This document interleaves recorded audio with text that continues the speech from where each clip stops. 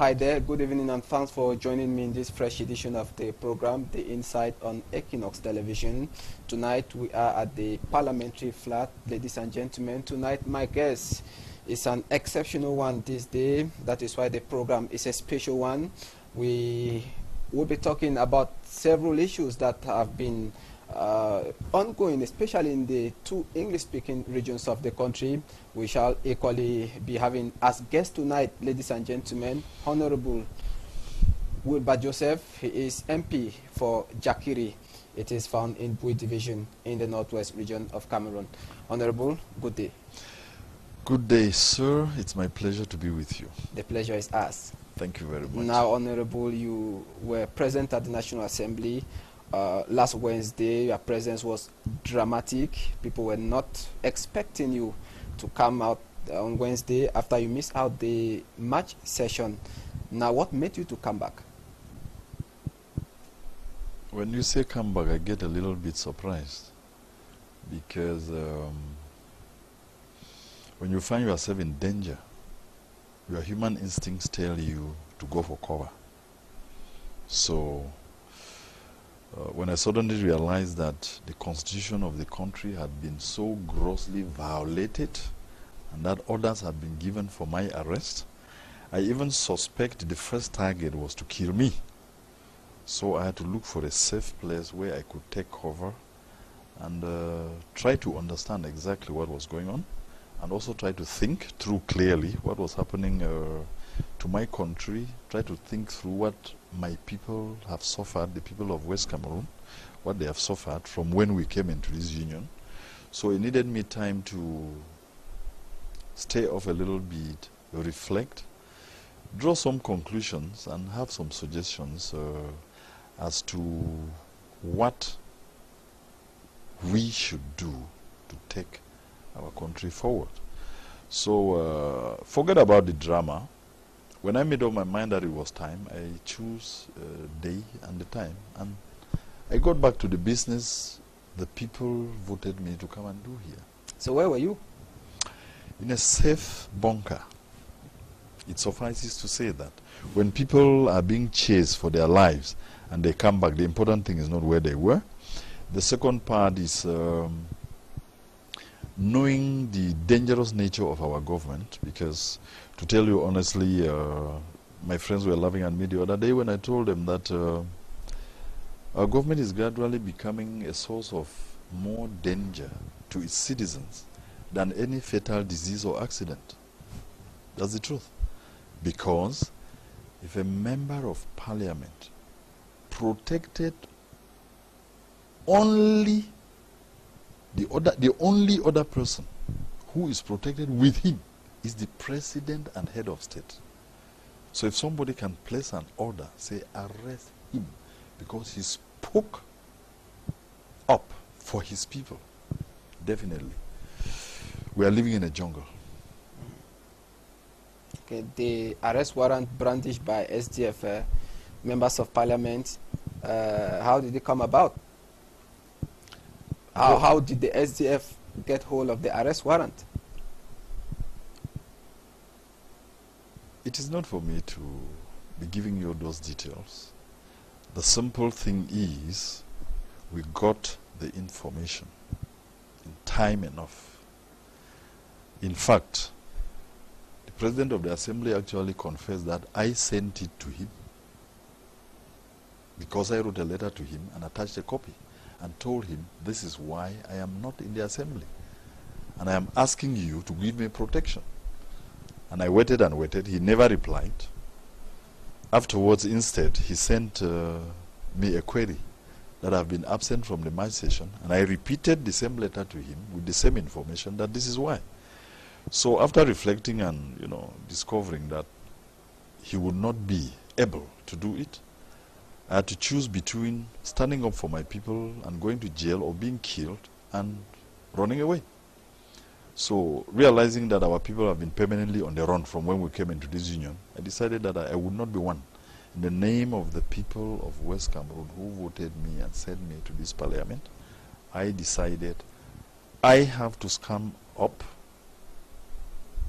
continue my work, put myself as a wedge between this obsessed government, because the government is obsessed with violence.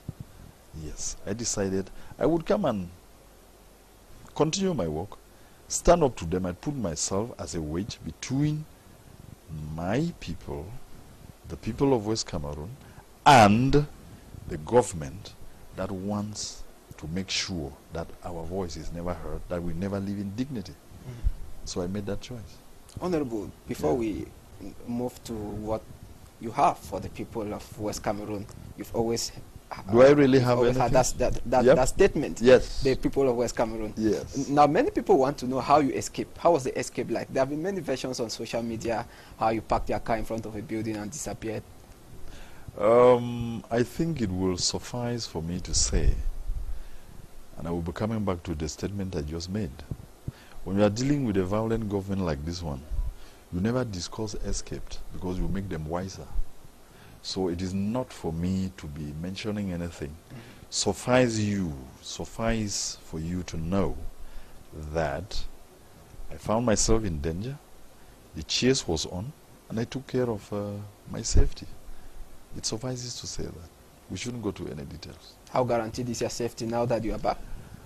Um, I've already answered that question. The issue for me now is not safety. I thought when the guns came out looking for me that the best thing was to be safe.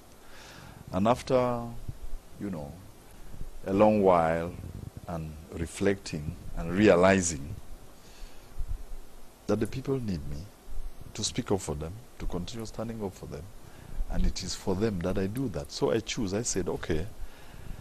Um, I told myself, uh, Wirba, the time has come. Is your one life more valuable than the 5 million plus West Cameroonians you left back home, plus those in the diaspora who are looking up to somebody, to someone, to people to stand up on their behalf? And I said, if history has made it to fall to you, that you have to take this responsibility, then the issue is no longer how safe you are but what else you can do for your people before the government takes you either to jail or to an early grave. And I reconcile myself with that and I get back. Hmm. You know that uh, many persons are saying, yeah. uh, always refer to social media because that is the pool. Yeah. Uh, many persons are saying that you, you are coming back my, in one way or the other disturb the presidency of the Social Democratic Front Party. Your correspondence you sent to the chairman Ni John Fru Ndi reiterating your respect for him, yeah. and secondly raising some worries about uh, about your safety and the stance of the SDF party, yeah. and the response of the SDF uh, chairman mm. here in the nation's capital, Yaoundé. Yeah. Uh, in one way or the other, said you the activities you carried out was not in the name of the party. Um, you know, I'm glad. That's a good question. I'm glad with that. And uh, the one thing I want to tell you is that Wirba that you see is a Democrat at heart.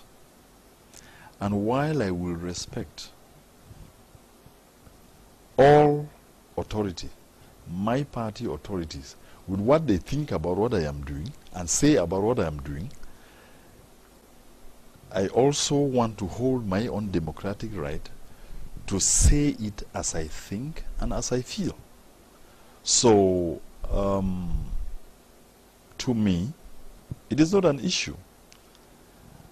I fought with the SDF from, no, before day one, because I was actually in the team that was preparing for the launching. And we launched and worked and, you know, supported the party in every way I could. Uh, my job as a civil servant went because of the party, because of how I stood up for it. So, and I believed that we should be able to push things to a certain level. And I have sat back. I have never been in any other party position, party office.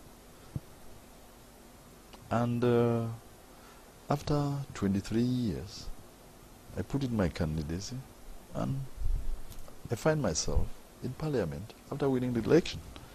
So, if I come here and look for what I thought you could be able to bring forth that could bring profound change to your suffering people, and I find no other way, I concluded as a revolutionary that I will go ahead and say it how I see it, and say it how I think the people want it said. Even against party And I went ahead. Uh, already, uh, Nfor Hanson, one of the things I want to tell you is that uh, when you see a man who has made up his mind that he can die in jail because of his people, when you see a man who has made up his mind that his life can be shortened, his blood can be given for a cause for his people, you do not ask about discipline. Because in that case, it will not matter to me if the party chooses to do anything to me. Because I am talking in the name of the people who sent me here to represent them. And I think that there is a profound problem in West Cameroon with our dignity completely taken away. Everything as we know it as West Cameroonian taken away with the pretext of, in quote, national unity. And we lose our identity. And we are subjected to this kind of oppression as a result. It turns my stomach. In essence, the SDF has not been doing enough to stop this, what you are saying. Uh, I do not know what your assessment of that will be. Uh, it's my party. It is for you people to assess, not me. So I'm not putting any judgment on the party. I'm a fighter. That's why I stood up in the 90s when I was just turning 30 and fought as hard as I did for the party to stand. So it now surprises me that people actually very well placed in the party Actually, I hear some are saying, you know, Wirba has carried the West Cameroon thing on his head. And I challenge them with that. That is how I carried the party that is carrying them forward. So there must always be people like me who can challenge the status quo, who can bring in the necessary change, who can move things forward. And I think that the suffering that our people have undergone in West Cameroon the silence that had been held as a result, because silence perpetrates evil. If we can't start speaking up to it and even facing the dangers to our lives, nothing for our people will change. So I have chosen to do that and I'm doing it. Okay. You are not afraid uh, of Article 8, 8.2, uh, according to what you are saying. Now, what is the relationship between you and Ni John Fru Ndi, the national chairman of the party? Uh, when you say relationship, what do you mean? The relationship, like, uh, is it cordial? Cordial. That's what it means, cordial. Because as I told you, I'm a practical Democrat. And uh, what many people forget is that you don't actually need to like people before you, before you work with them in the same political setup. Where you need to like people or love them before you have them is your home. You need to love your wife and children to have them in your home. So, in a political setup, people seem, you know, people learn to come together with common goals, and people may look at those goals from different angles. The targets for achievement, they may set different, you know, they may view it differently. So, to me, uh, working in the same political system and moving forward is not about liking people. Cordial relations are important to get certain things moving smoothly. So my relationship with the chairman is cordial. And uh, I'm talking about what I know and what I give him, all his due respect, all his honor, and all the honor that he deserves. If we differ in opinion, that I'm handling a certain thing in a way that he may not agree with, that is the dynamism of any political system that can, you know, take people forward. So uh, this very archaic and vague Cameroonian political notion that people must think the same, either like their leaders or they must, you know, uh, it, it's not dynamic enough for somebody like me. So if I do not see certain on certain issues eye to eye with my party leaders, that's democracy. Now, with the popularity that Honorable Wirba Joseph Yeah. uh, has today, uh, you have popularity not only West, in West Cameroon, not Yeah. only in uh, former West Cameroon, Yeah. uh, even in the other eight regions of the country. The convention of the SDF party will be coming. Do you see yourself with this popularity standing against Ni John Fru Ndi? In fact, the popularity part, I'm hearing it from you. I didn't know. Uh, I'm just going ahead with my work as is usual. I know that it has caused a stir. It's caused a lot of excitement. Popularity, no. You can only know that when you, you know, uh, uh, when you move to the people to hear them tell you that this has happened or that, you know, how does a man sit down and say that he is popular? So I'm hearing it from you. And uh, it humbles me if I am, because I keep asking myself, what is it I have done that nobody, no other person could do? Because, you know, the things I say are the things we all live through. They are the things we experience. And uh, in my presumption, anybody could have said it. Anybody can say it. Anybody can do it. And the, the little missing factor, which I seem to end up realizing, is that it needs a little bit of courage to say certain things and do them.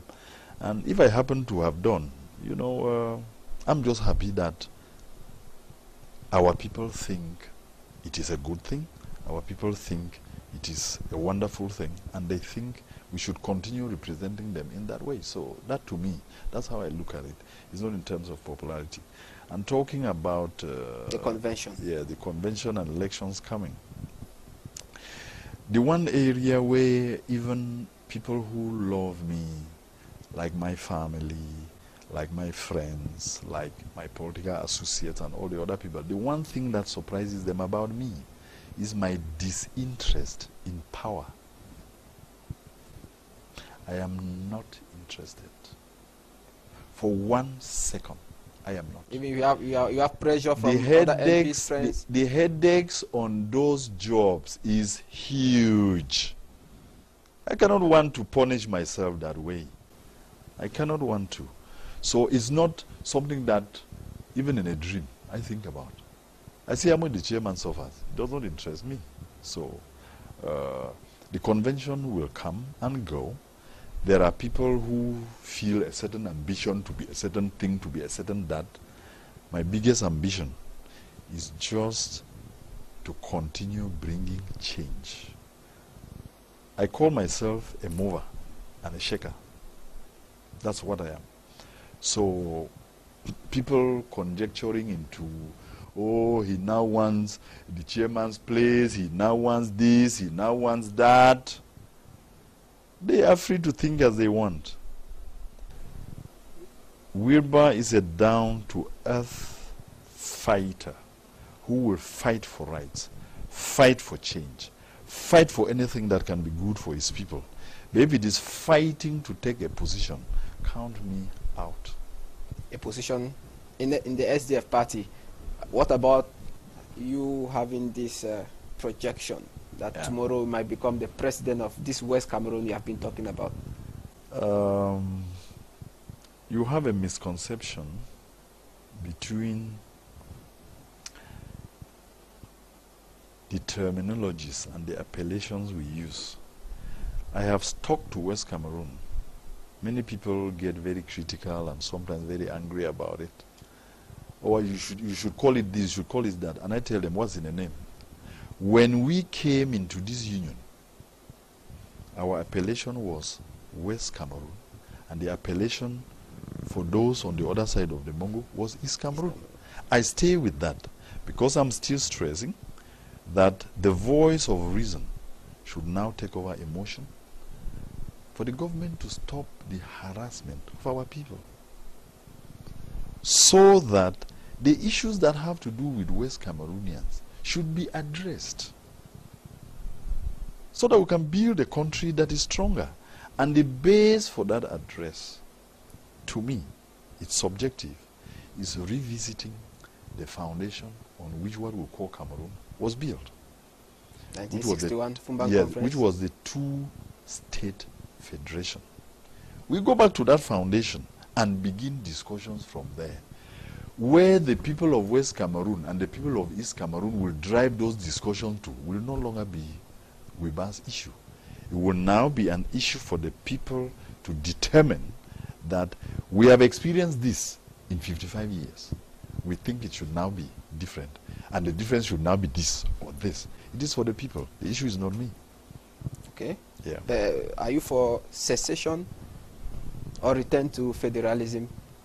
Because, like you said, many people are, Well- are- well- like confused when you talk of West Cameroon. Uh, they don't know your stand. Are you for secession or for federalism? Like the, the what the SDF stands for? That's federalism. And, I, I, I, I, I don't believe in stands. This issue that where is your stand? Where is your stand? My stand is on our people, the people of West Cameroon, living in dignity and in freedom. And whatever definition that freedom will take them to, they will be the people to define.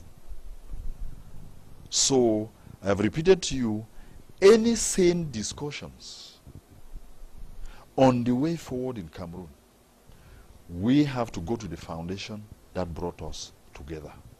I repeated it to the President of the Assembly the other day. What brought us to this union was a two state federation. If we want to start discussing how the country can be better, we have to get back to the foundation. Because already, you have already seen, the foundation is cracked, is broken. So, any person, the foundation is cracked, then the walls are now breaking, and the roof is curving in. Anybody who begins to believe that we should just, you know, let's plaster it, let's repaint it, let's put on a new roof. If the foundation is not proper, nothing works. We have to go to the discussion table, beginning with two people came together as brothers. What happened between the lines that one is becoming a master and the other a servant and a slave is not what will interest us. The issue will be let's get back here. When we get back on this table and we start the issues, your culture had this, ours had that. Your way of life was this, ours had the other thing. That is where we begin. And I have told you, you know, uh, I don't like these issues in Cameroon where people sit and project. We should now do this so that the result will be this. How do you know what a result will be when you have not begun even just anything? So we need to get back to the roots of our history. That's why I took a lot of that time out there to reflect, to review our history again. And I found out the reason we are where we are is because the union was done in bad faith. And from the very beginning, the government of Ahidjo started the undermining of what was ours. Undermining our political system by ending the multi-party system. 1966. Good. Undermining our educational system by creating one university and bringing us down here and force feeding us with lessons in French. That's why we will end up half on half. What Ahidjo should have done would have been to respect these people's culture. They should have a university of their own. We should have ours. If anybody chooses to go to any, it will be their choice. It cannot be perforce. So he undermined everything. Then the judicial, our judicial system and practice, he watered down everything. And the Biya regime came and took over and continued in the same vein. All right. That is why in the final analysis, we end up with a system that ends up producing people who have no values. When we, as West Cameroonians, we as English speaking Cameroonians, we have our set of values that should be there, things we can work on, and know where the results will take us to. Those are the things we are asking. Anybody who believes that being united means turning the English speaking people into French speaking people In fact, the term I use for it is their objective from the beginning was to Frenchify us. I put that in quote. Yes, to Frenchify us, to make us be like them. The biggest error the governments of this country have made has been this particular one thing. They want us to be like them. And that is not unity, it is slavery. And that's what I'm decrying, that it must end. Okay? We must bring it to an end. Our people must end it. You cannot have a dual system. The Canadians have proven it. It works. The Belgians have. It works. You cannot grow up in Quebec and then you are told that there is only one university you can go to, which is in Ottawa. And you go there and they are lecturing you in a language you do not master, a language you do not understand. It is a form of enslavement. And that is what I am decrying. And that is what I'm saying. If we hope to move this country forward, we get back to those values. They have undermined it to the level now where the freedoms we used to enjoy as West uh, Cameroonians have been taken away, and all of a sudden, doing a demonstration to express yourself, which is a democratic right, has now become the surest source of death for West Cameroonians than even AIDS, cancer, and accidents put together. It's the surest way to die. That's the way you know that you are not in a country that is yours. You are not living in freedom.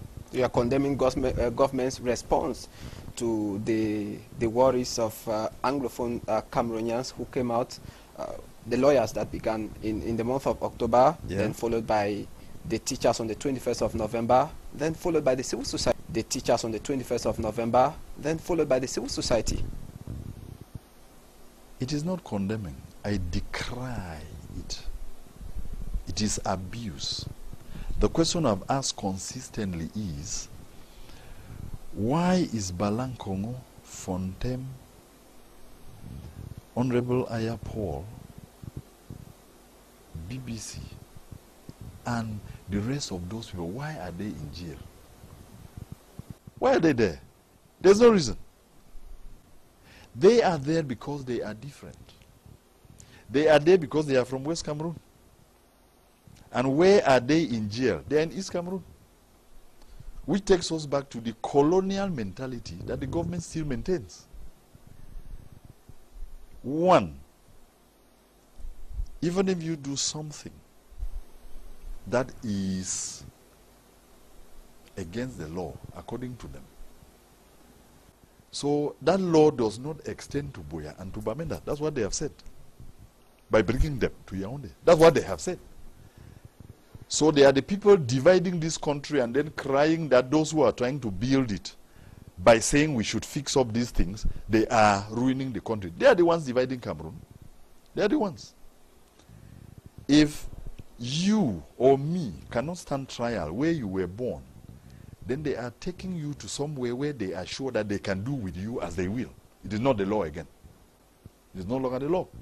So I decry it completely. Why are they there? And I am asking them, every day I have the opportunity to say, any form of normalcy that we need to bring to Cameroon and start moving things forward. Release them without precondition. Give an overall general amnesty so that the people we have chased into exile should come back and be building their country. They have done nothing. The only thing is that they have refused your gradual machinations to turn them into the mentality you believe, the mentality of succumbing to everything that is authority, even if they are taking off your head. You say nothing. They are there because they speak English. They are there because they are from West Cameroon. They are there because they are different. Because our culture is different from theirs. These are the things we know in our culture that you do to stop government excesses. You demonstrate. You say, no, this is not correct. And a good government, a government that is living for the people, a government that exists for those people, that government would listen to those people. Mm -hmm. But since our government exists for itself, the only way to protect itself Shoot down anybody who says the government is not doing right. Take them to jail. The rest will run. It will not work. But the government uh, has listened to to the to what Anglophones have been crying for. If you look at the uh, educational system, you don't see get that me. there, Don't there get have me been some angry. Don't get me angry, hands. There have been some. Don't get me angry. So you have sunk to the level, like the rest of them, where you now think that what belongs to you as a right is taken away and privileges are given, and you are dancing at the privileges. The privileges can be taken back anytime. It is about our rights, it is about our existence as a people. You do not take what belongs to us take away our freedoms, and then you are saying, oh, the educational system, uh, they have now agreed that they will add this, they would add that. They are adding it to what? What belongs to us was cultural. We take everything back and run it how it benefits our people best. So what they are doing is just window dressing. I don't even think it reaches the level of window dressing. It does not. It's just a pretense. It's a farce. Nobody who is serious should be listening to things like that. Hans, I hope we are living in the same country. Exactly. We have more than a million children who haven't been in school. And we are not running to set a forum quickly so that children can go to school. They are acting that drama all over West Cameroon, you know. The deals are running here left and right. I've seen in some places gendarmerie guard mounted outside classrooms that they are writing the GCE. What farce? Is Cameroon in a state of war? What nonsense. Whom are they abusing? It's annoying. So all of those cosmetic things they are doing, um, if I have my wrinkles on my face, because maybe I am 80 or 90 years old, and go to a makeup salon and they fill them up, and I come out and say, I am 20 years old, it's only a, an idiot who will believe. It's cosmetics. They are performing. We need profound surgery to resolve issues for our country. That is not the way to go. The dialogue table is the only way. That way will show respect for our people. I've told you about the children who have not been to school. Mm-hmm. We have Balla, Fontem, and the rest in jail. Shopkeepers have shut down their shops for seven months. They go hungry themselves. And somebody thinks that they are just joking. Somebody thinks that they are just doing it for pleasure. Somebody thinks that you will bring a cosmetic tool, some perfume, and just spray it, and the guy start dancing, say, no, it smells well, so we are all right. The government has now said this. And I've been repeating to our people, governments don't give rights, people take them. Yes, government don't give rights. Go government will give you what limits you in every way from challenging that government. So it's cosmetics. I don't even want us to be talking about it. You are wasting our time. Because the place to go is the people are talking. Five million plus people in West Cameroon. They are now almost reaching a point of rebellion. They are rejecting everything the government has put down because they have been hurt and humiliated and treated with all forms of indignities for over 55 years. And when they talk, you don't listen. You want people to sit down and begin to say, oh, you know, uh, they just signed the other decree the other day, they just gave this, they just gave that. Those are people who don't love this country, who begin to dance at things like that. They don't love this country. If they love it, they'll be asking for a debate table. This is not what we thought was. If our people have gone out on this outcry, something is definitely wrong. Somebody needs to sit there and ask the question why is this government afraid of debate? why is the issue of going to a discussion table so anathema to the government? My answer is simple. They don't believe we West Cameroonians are the same with them. It is the attitude of the master who says, sit down with the servant and discuss what on the table. That's the attitude. That was seen during the French rule, the direct rule. Exactly. So that's why I'm saying, I was telling the Minister of Territorial Administration in the Assembly the other day, I said, I told you in December, you are governors, you are DOs, you are subdivisional officers, the commanding officers, their whole attitude in West Cameroon is that of people running a colony. That's why you hear a DO is coming and people are running. They are scared.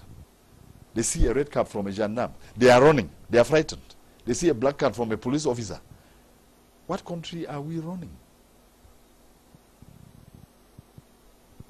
The forces are law and order are the forces that in civilized countries, and I'm sorry to say we are not civilized.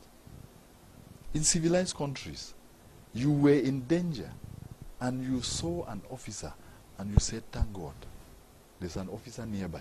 Here we run because our system has been run in such a way that gradually the forces of law and order has been turned into the forces of the protection of those in power rather than the protection of the people who pay the taxes for where those people get their salaries.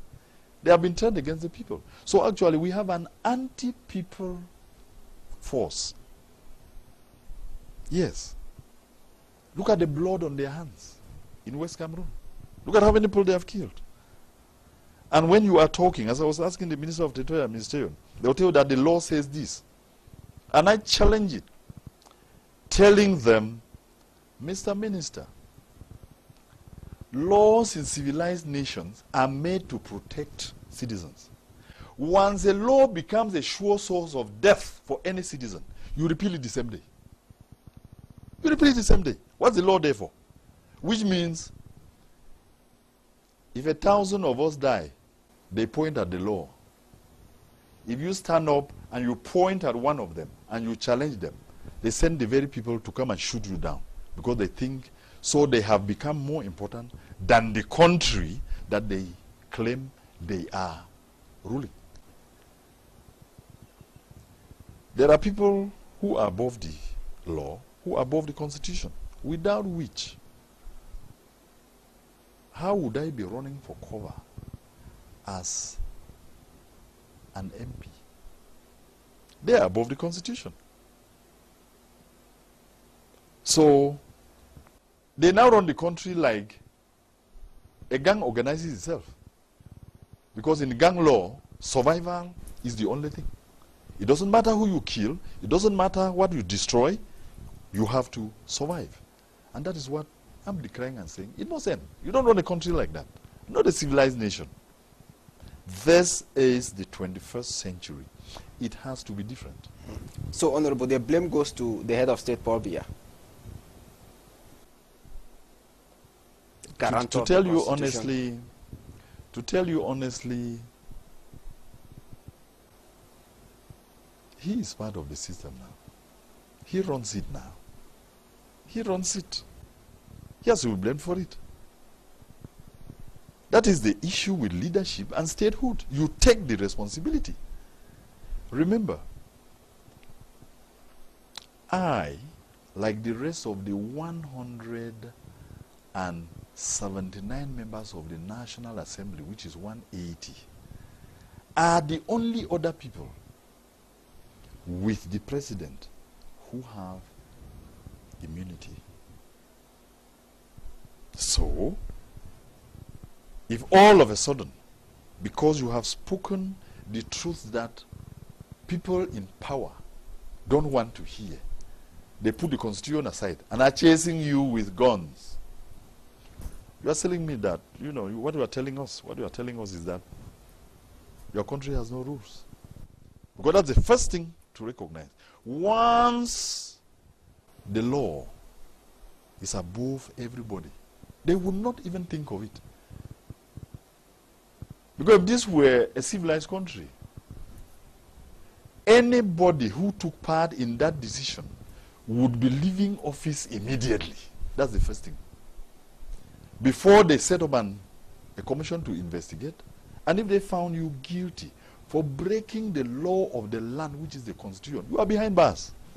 But you now have free people behind bars, and the people who are breaking the constitution to bits and pieces are sitting up there and giving orders. We cannot continue with this. We West Cameroonians do not know this. And that's why we are decrying.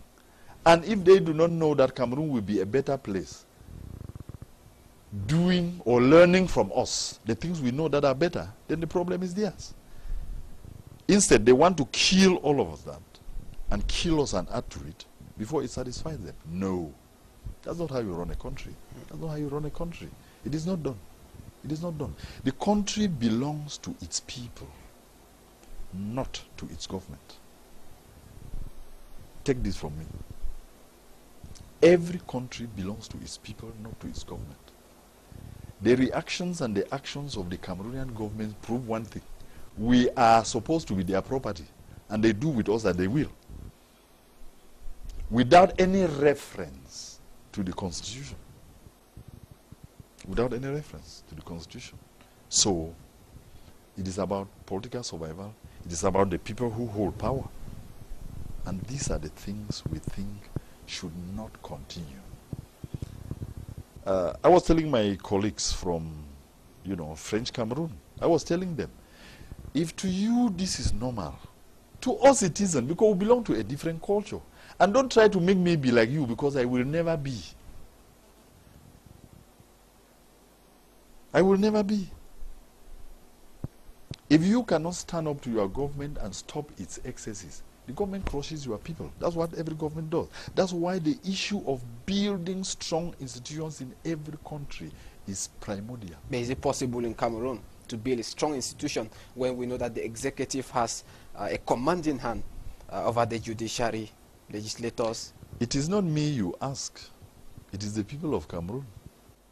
Ask them that question. Everything is possible in civilized society. That is why we from West Cameroon are struggling to say no.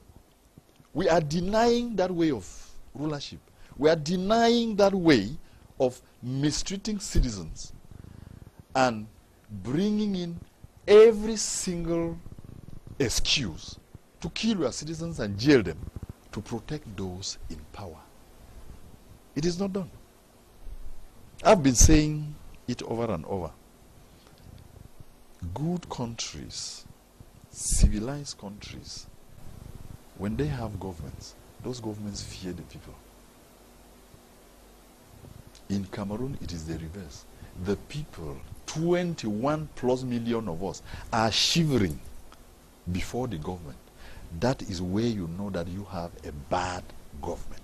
Mm. When people live in fear of their government, Governments live in fear of their people in civilized society because they will remove you the next day. If you don't get up to scratch, you are out. But here is the reverse. We live in fear. Those of us who are standing up to talk for the people we represent and taking all the risks we are taking, it is to get to a level where we can build governments that fear their people.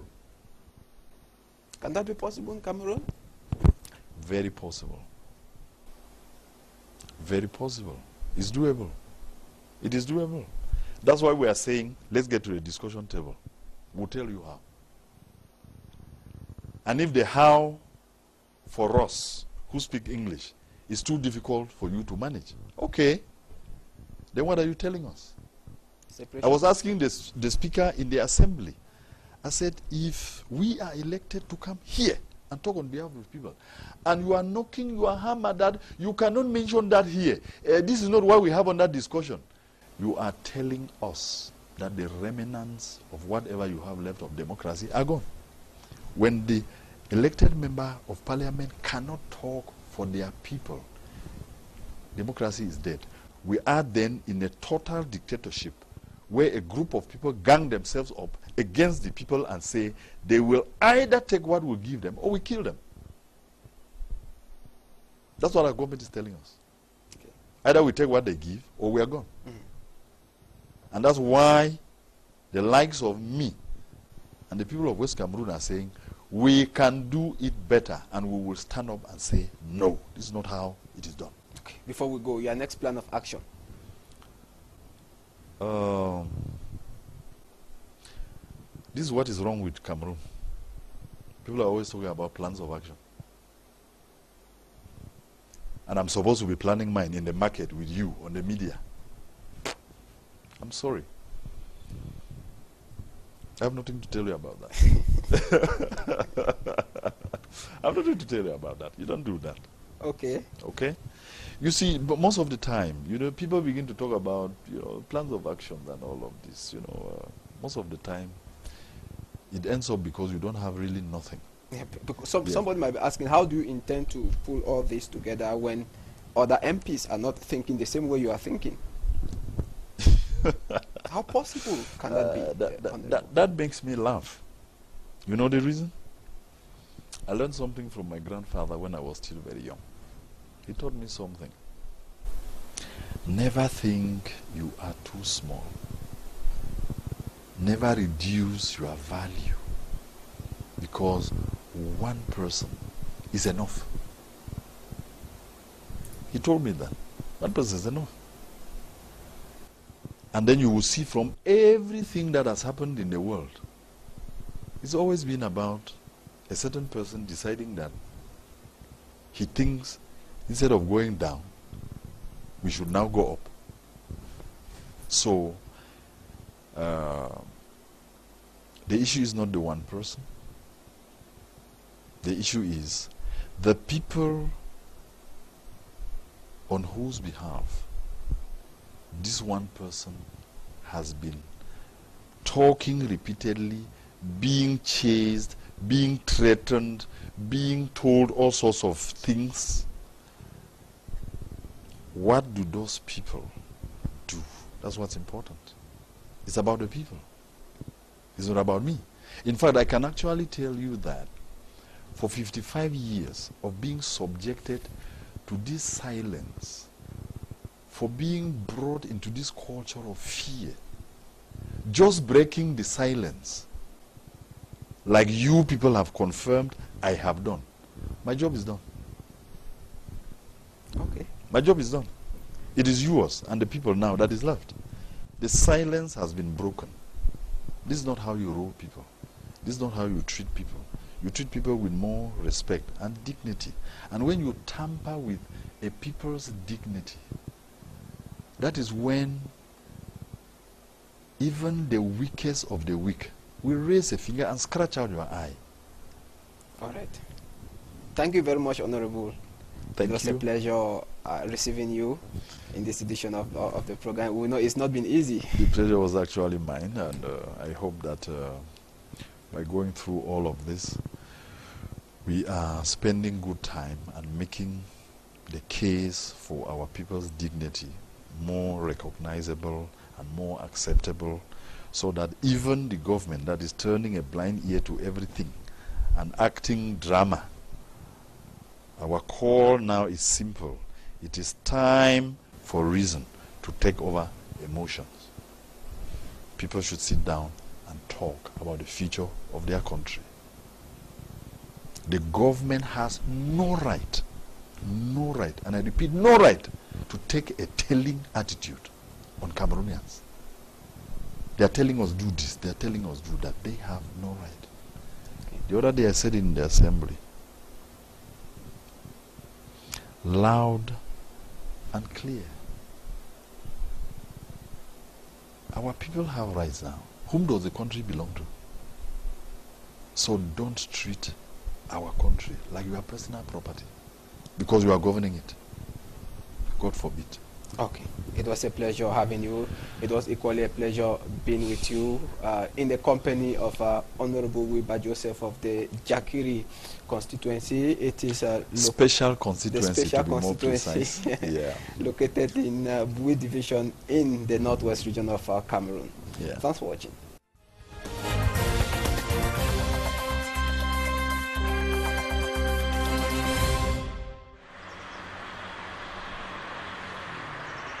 Thanks for joining me in this special edition of the program, The Inside on Equinoxe Television. We are at the Parliamentary Hotel here in the nation's, uh, the Parliamentary Flat here in the nation's capital, Yaoundé. And uh, the uh, team of The Inside has been received uh, deep inside the Parliamentary Flat by the Member of Parliament for Bafut Tubah constituency, Mezam North. Ladies and gentlemen, welcome Honorable Fusi Naamukong. Good evening. Good evening. How are you doing? No, we are doing great. We are great that I'm happy and particularly delighted that you take time off to meet some of us so that we can share our views on our activities within Parliament. Mm-hmm. Okay. Now you came once again in the limelight after your first passage that was in the northwest region of Cameroon at the Congress Hall when PM Yang came out. We saw you were very outspoken. Now you were refused giving the floor at the National Assembly Wednesday. What exactly happened? Uh, you know, after a bill is tabled before Parliament, the minister will come in to defend the bill. And it is within that period that the parliamentarians have to question the minister on the bill and other burning issues within his ministry. It was on that light that I took, wanted to take the floor to question the minister, minister of Territorial Administration on some burning issues within our country and those concerning the bill.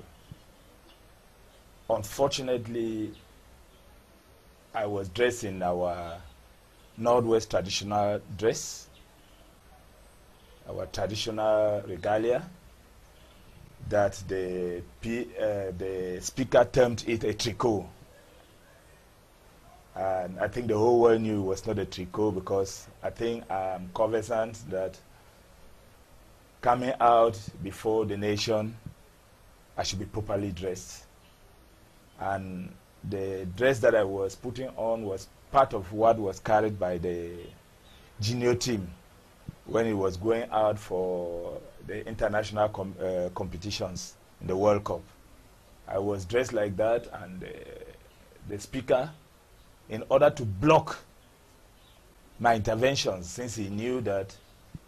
Are you sure that was the main reason? That's what I believe, because they know those who are outspoken, those who are able to handle issues, burning issues within the ranks of parliament. Mm -hmm. Some of us are those who are vocal and we come out and we talk plain on everything that is happening concerning our nation. Mm -hmm. But is it part of the dress code? Is it part of the standing orders? Uh, the standing orders allows a parliamentarian to be formal. And being formal, you can be in your traditional regalia, and you can be in the Western culture. That is being formal. Mm -hmm. There is no explanations more than being formal. Okay. That so a parliamentarian should be formal. I knew I was formal, and that is why even my group leader went up to let him know that I was formal. I'm in a traditional regalia, I'm formal, but he did not give in. Mm -hmm. You definitely had many things you wanted to discuss on when you demanded to be, be allowed to. Uh yes, the bill in question was the bill on the Economic and Social Council where for over 30 years, a group of people, six in number, have been embezzling over 2 billion on yearly basis. To me, I call it embezzling because the Economic and Social Council have not been in existence. It is a name.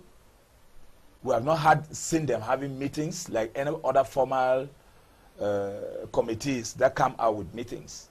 But they have been awarded a budget of 2 billion on yearly basis.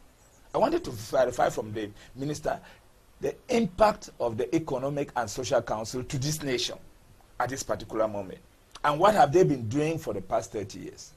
I wanted to find out what have been happening that out of the 150 members, only six are in existence.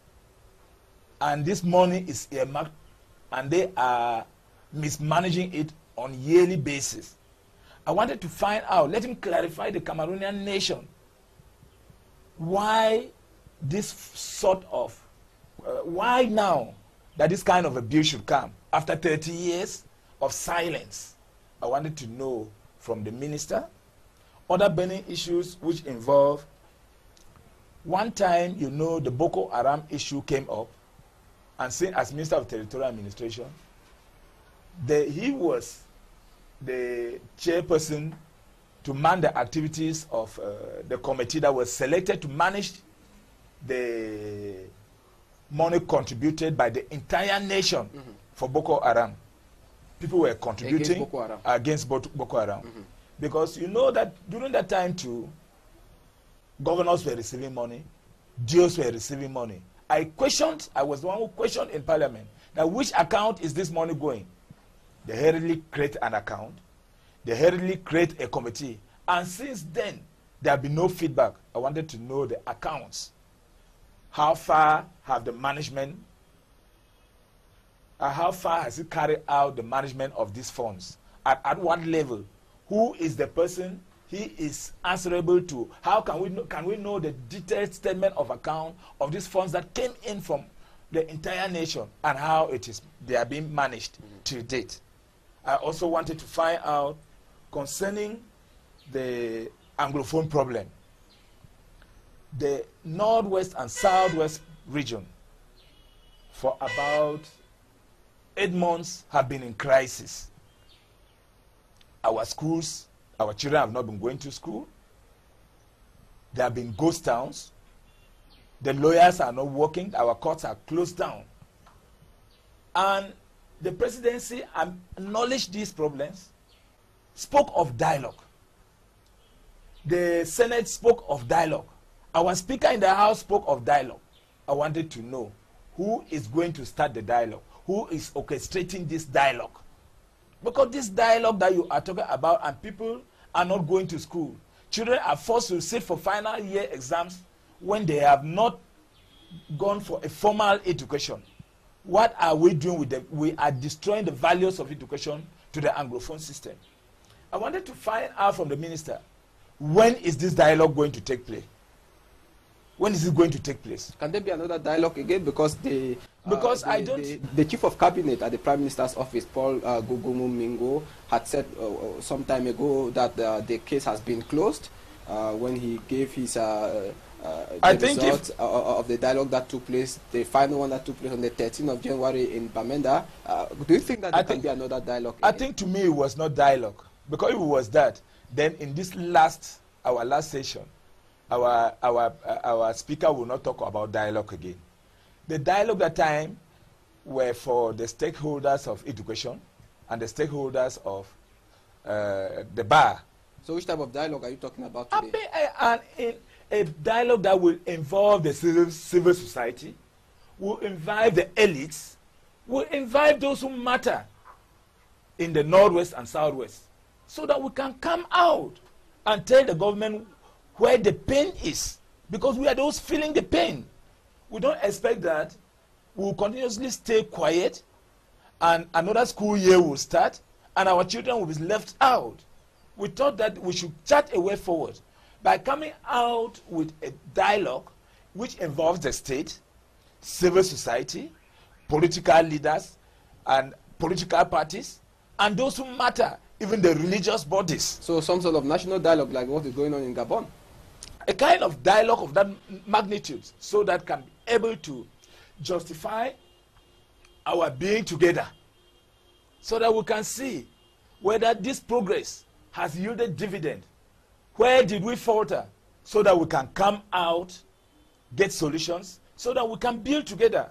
Those were the questions I wanted to find out from the Minister of Territorial Administration, who manages the entire territory, and he is aware of what is happening because I know our governor, our SDOs, and the rest of the administration are giving him information on what is happening in the Northwest and Southwest province. It was on that light that I had to come up, take the floor in Parliament, and the governor um, uh, and my speaker turned my appeal, mm-hmm. turned down my appeal. Mm-hmm. Honorable Fusi Naamukong, uh, dialogue you're talking about, can dialogue be genuine if those arrested are not released? These people who began the dialogue, who were the first persons to, uh, I'm talking about uh, Barrister Agbor Balla Nkongho. It cannot be genuine. That is why if the dialogue was open, those of us who are outside will be able to tell government to release these people. Somebody who informed you about your ills and you acknowledge them and you keep them in jail. It is not positive. We cannot continue to live like that. We expect that if they even open up the dialogue, those of us outside will tell government, please, can you give these people amnesty? Because you know something that is happening with those who are arrested. Most of those who are arrested are not even those who committed the crimes. Because when crimes are committed, those who commit most of those who commit the crimes the, the, the, the, the, uh, are those who, who do it carefully and they go away and when the forces are coming those who stand to watch what happened are those who are arrested so the innocent are most of those in over 70 in detention are the innocent people i wanted to find out from the minister how far are we going with this mm -hmm. can we continuously stay in this kind of atmosphere in which we don't know. Because our electorates are expecting us, the parliamentarians, to say something, to come out with something, so that we can have a way forward for this nation. Okay, Honorable. Now, uh, there are over eight bills that have been tabled so far at the uh, National Assembly. One of them is the restructuring of, of the Supreme Court. Do you really think that the government is uh, doing a great job to see that problems raised by teachers and lawyers are resolved? One of them, the creation of a, a common law bench at the Supreme Court. I think it is overdue. They have been overdue because of 54 years most of the cases that are brought from appeal court from the Northwest and Southwest province, when they arrive at the Supreme Court, they will take over 10 years because there's no bench, there's no English bench. That one, I think I appreciate government for tabling that bill, and I, I think that it's a way forward for us to resolve some of the issues. I say some because the issues are, there's so many issues that the Anglophones are feeling that they have been marginalized. Which, what, what are the issues? You know, of recent, the magistrates, we don't uh, the ENAM issue, where we don't have English magistrates. They were trying to recruit some magistrates now to go to ENAM. That only francophones are being sent to our, uh, our uh, areas. Before you know this issue of the teachers, the shortage of teachers, science teachers, in which francophone teachers are sent to teach our children. The, there are so many other issues, the marginalization. Imagine the Minister of Education with five ministries with no Anglophone. Who is going to explain our deal to the nation when there is no minister representing us in education? For many years, there have been no minister. When you are an Anglophone, you know that you can never be Minister of Territorial Administration. You know that you can never be Minister of Finance. You know that you can never be Minister of Justice. You can know that you cannot be Minister of Foreign Affairs, and you can name them. The people have, throughout these 54, 56 years, been marginalized in such a way that only a national dialogue can give us assurance that this unity that we had, that this marriage that we took, can continue to yield dividends. It is on a forum of that magnitude that we can talk to each other. We can share to build a common nation. Without that, the people are still very suspicious. That is why you see parents comfortably keeping their children at home. You see courts not going. Lawyers are at home for over eight months. That shows the disgruntled nature of the people. The ghost towns are alive, showing that they are not yet satisfied. Mm -hmm.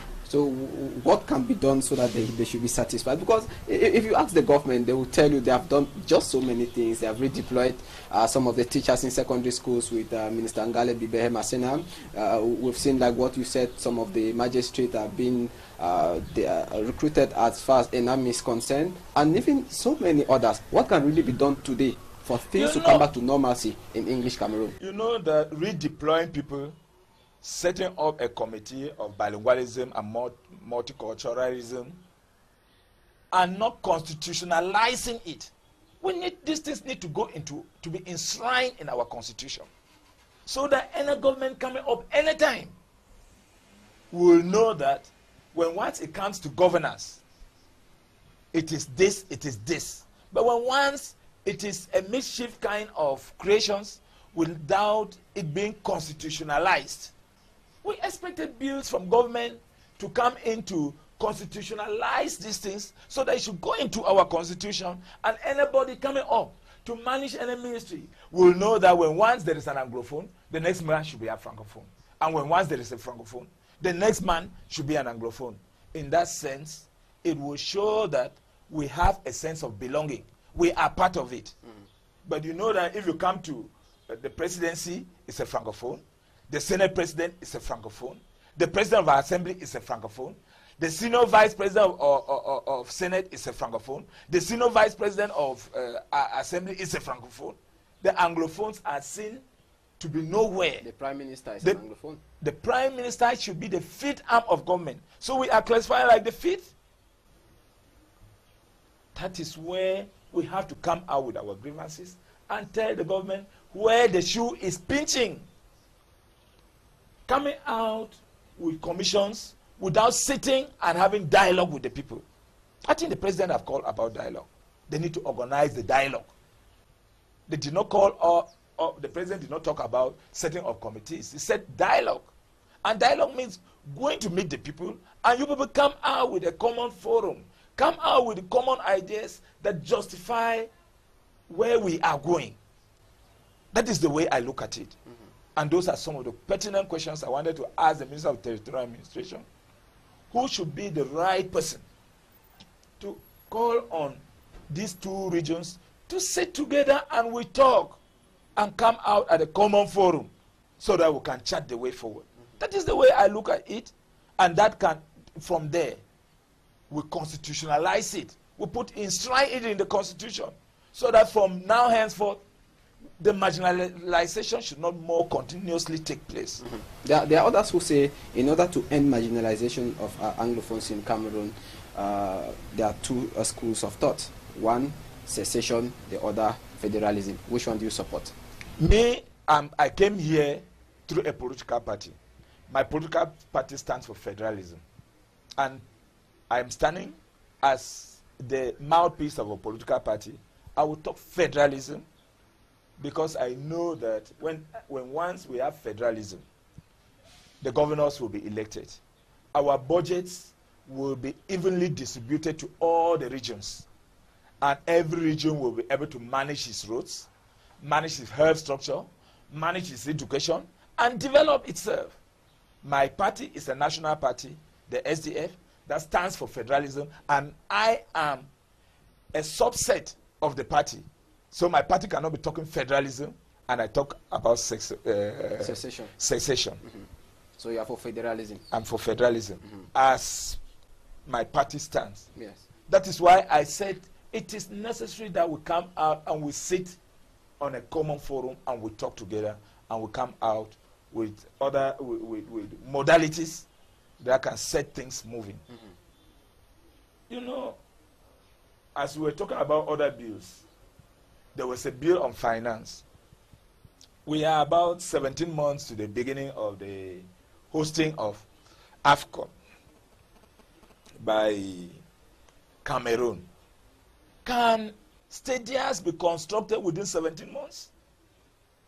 Because the government came in with a bill that they want to construct stadiums. Because you know what happened?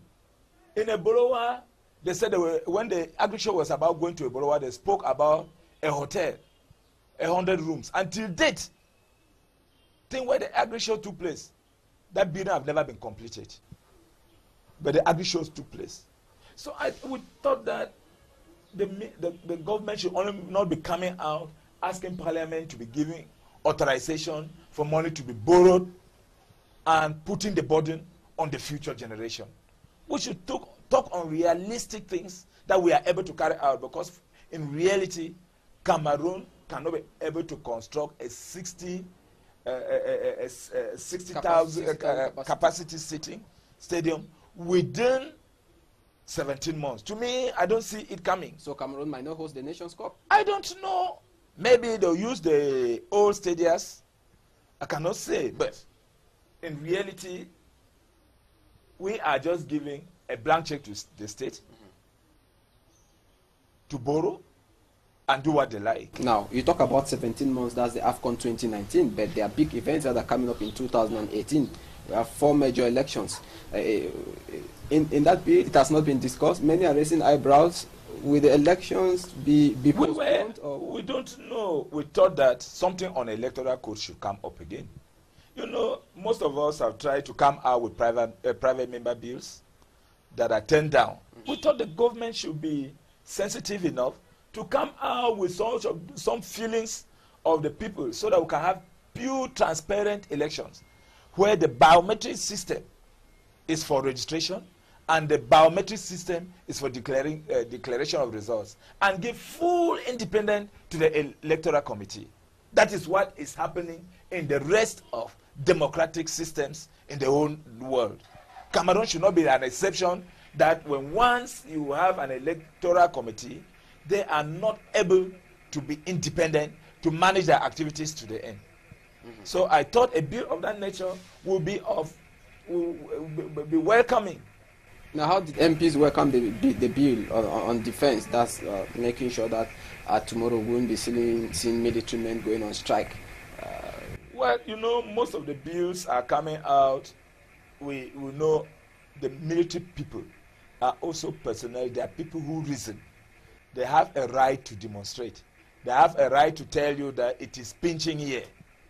When once bills of this nature comes, like the bill that came on terrorism, in which people are being transferred now to ba- from Bamenda to Yaoundé, in which we all co- completely condemned. The SDF condemned and we, we staged a walk out. We refused to vote the bill. We staged a walk out and proved that that bill cannot go. That when people talk anyway, when people manifest, clamoring for something, they are arrested that they are terrorists.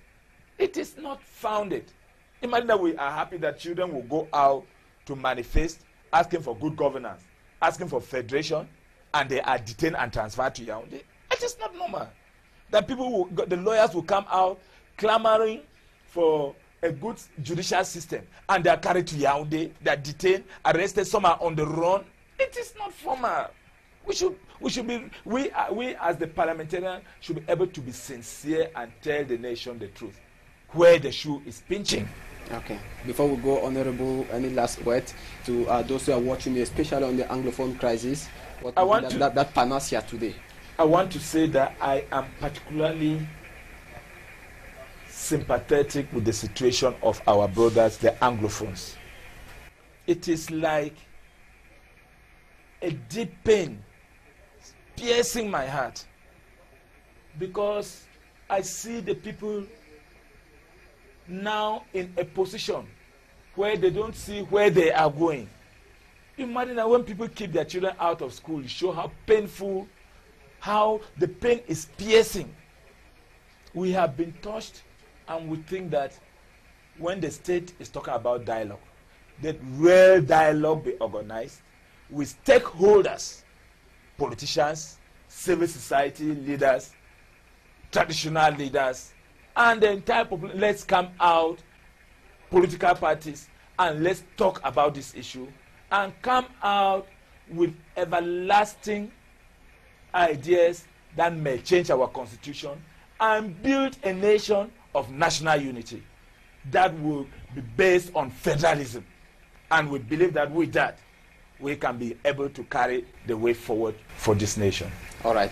Thanks very much. It was a pleasure uh, having you in this edition of the program. thank you very much i'm very happy you came and you made me one of the tricots because they said my traditional regalia is a tricot you came and made me dressed in one of the tricots i don't know how far our traditional outfit will be called a tricot but i believe that with time people will be educated to know the difference between a tricot and a traditional outfit.